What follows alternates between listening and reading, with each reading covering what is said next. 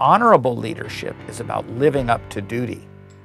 When we're given a promotion and put into a position of greater formal leadership responsibility, that that is often because we've done well at something and our potential has been positively evaluated.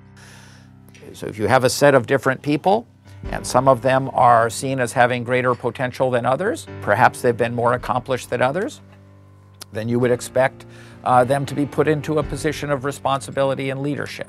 But if you think about it, that causes all of us to see that promotion as a reward, not as a duty.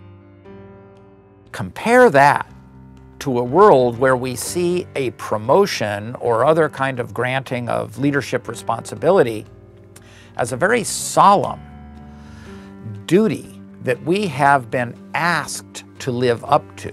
When we face leadership responsibilities, we're asked to do things that are difficult. We're asked to resolve tensions that will require trade offs, that will require that we make tough decisions.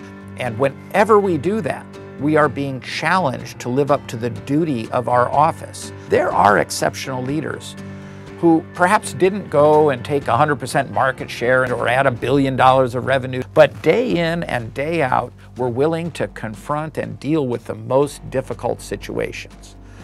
And I know right now you can think of such leaders. I challenge you to be such a leader. Transform your approach to leadership excellence and development. Learn more about SEP, the Stanford Executive Program